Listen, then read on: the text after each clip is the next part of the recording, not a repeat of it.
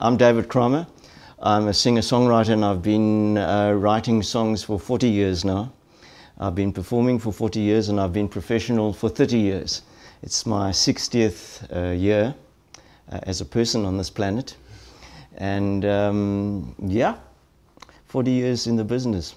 I still do it because um, it gives me great pleasure. It's, it's kind of, it's like, I think um, it feels to me like a hobby. I don't feel that this is work. It's, it's what my life is all about. Um, I did once work in a factory, and I think I retired. I've been in retirement for, for more than 30 years now.